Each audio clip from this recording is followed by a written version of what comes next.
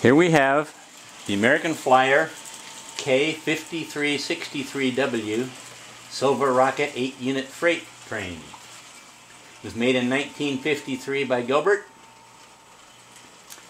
and uh, just only in that year. The following year a similar set was made but contained a transformer. This year they put no transformer in the set.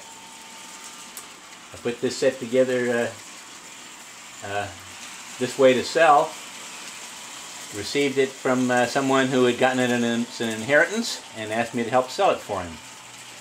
It's a great set and uh, the guy who has bought it is going to be very very happy with it I'm sure.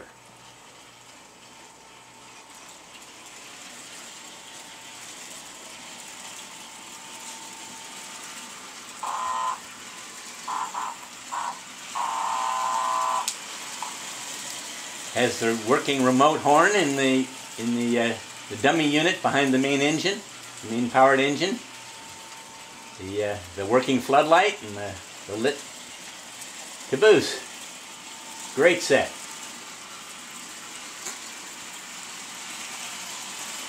That's a 936 uh, wire reel flat car. The 913 uh, box car, 925 tank car, 941 uh, gondola, the 930 caboose. Uh, oh, I think I missed the 946 uh, uh, floodlight car in there in the middle.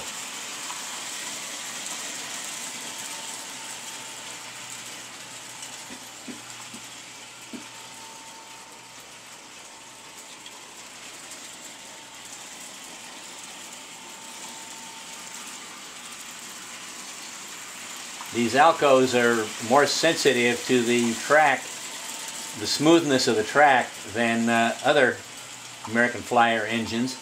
It took me a lot of tweaking around to get the, the track flat enough here on the carpet for it to run right without derailing. If the, the track isn't smooth, uh, particularly the, the dummy pulling such a heavy load in the, in the train uh, will, uh, will derail around the corners. Also the, the dual engine powered unit, the, the dual motor, it has two motors in the power unit, takes a lot of juice. Uh, it takes a good sized transformer to run this. I'm running it on 100 watt right now. I usually use a 40 watt for testing, uh, which works great for most of the steam locomotives, but not for this dual motor uh, diesel.